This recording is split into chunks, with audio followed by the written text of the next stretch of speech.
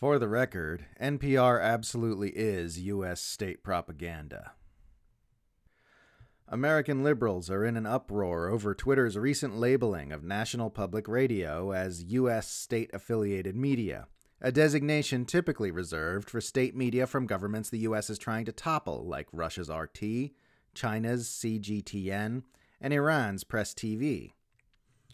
In an article titled Twitter Labels NPR's Account as State Affiliated Media, which is untrue, NPR's Bill Chappell attempts to argue that his outlet does not deserve to have the same labels affixed to it as state media from naughty governments like Russia and China. Quote, Noting the millions of listeners who support and rely upon NPR for independent, fact based journalism, NPR CEO John Lansing stated NPR stands for freedom of speech and holding the powerful accountable. It is unacceptable for Twitter to label us in this way.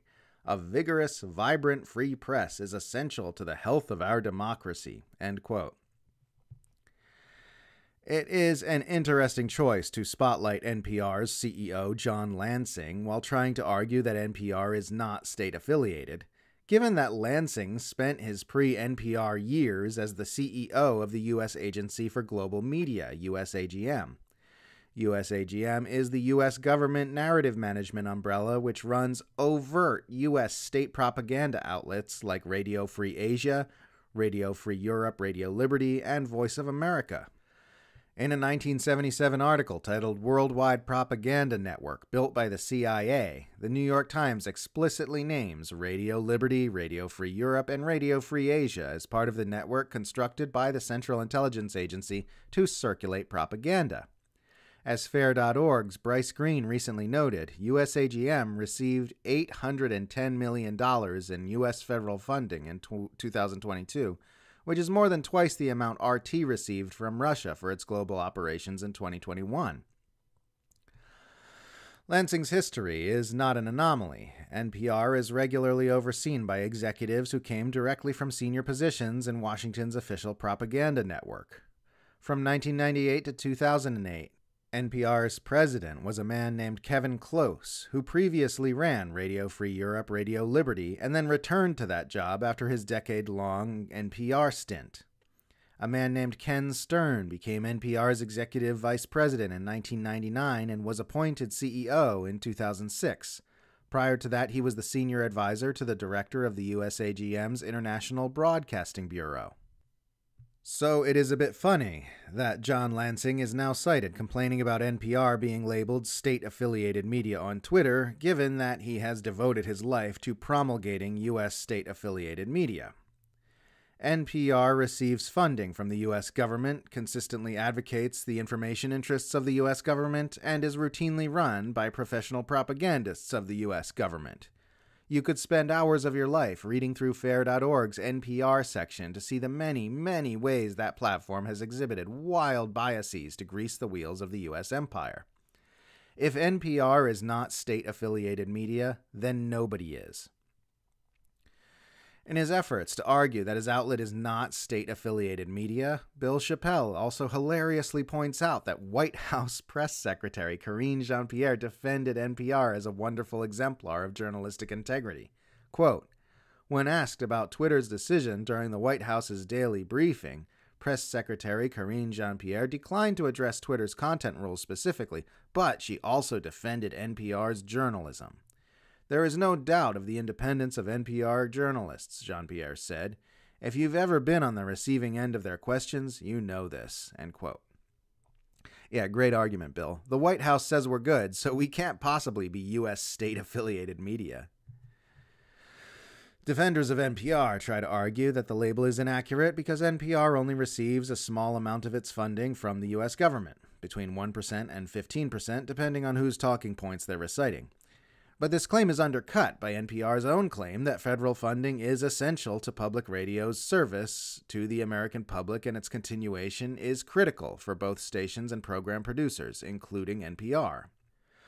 It's probably also worth saying that if I was receiving between 1 and 15% of my funding from the government of Russia or China, I feel quite confident that Twitter would slap me with the state affiliated media label immediately, as it has so many others. If you've conceded that you receive government funding to any extent, it's hard to then argue that you are in no way affiliated with that government. It's probably additionally worth noting that NPR receives a mount, massive amount of funding from oligarchs like Bill Gates.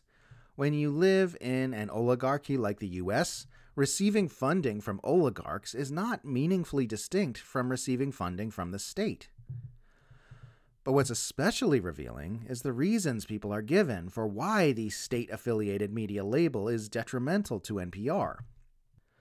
Twitter has labeled National Public Radio as state affiliated media, a move some worried could undermine public confidence in the news organization, reads a tweet by AP. The tweet paraphrases a quote from PEN America's Liz Woolery. For Twitter to unilaterally label NPR as state affiliated media, on par with Russia Today, is a dangerous move that could further undermine public confidence in reliable news sources. Think about what they're admitting here and what they're not saying. They're acknowledging that this label that's been getting slapped on the media from nations which disobey the US government undermines public confidence in those uh, outlets, which means they know Twitter has been using that label to undermine public confidence in the media from nations which disobey their government. They're just not taking that understanding to the obvious conclusion that this means Twitter has been functioning as a propaganda arm of the US government. Indeed, the problem with the state affiliated media label hasn't so much been that it exists, but that it will always be unevenly applied. The label gets pinned to outlets like RT and China Daily, while left off of known US propaganda outlets like Radio Free Europe, Radio Liberty, Radio Free Asia, and Voice of America. This designation is also nowhere to be seen on other outlets which receive a far greater share of their funding from the state than NPR does like the UK's BBC, Australia's ABC, and Canada's CBC, and the Saudi Press Agency. There is no valid reason why NPR should carry the label of state affiliated media while those outlets I just listed should not.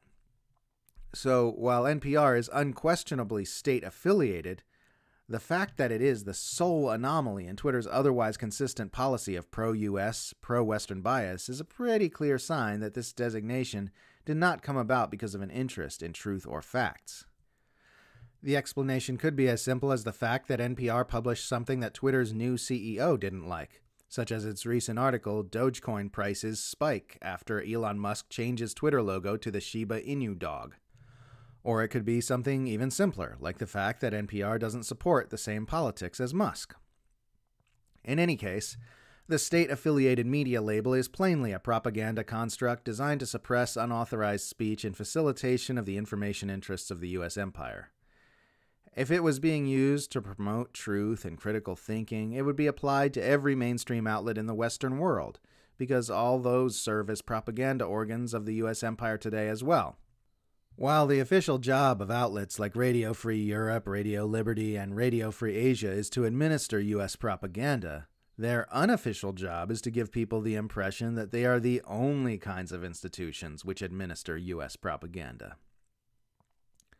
All this bickering and squabbling about whose voice should be uplifted as trustworthy and whose voice should be squelched as untrustworthy is just a manifestation of the fact that powerful people understand something most ordinary people of the public do not that whoever controls the narrative controls the world.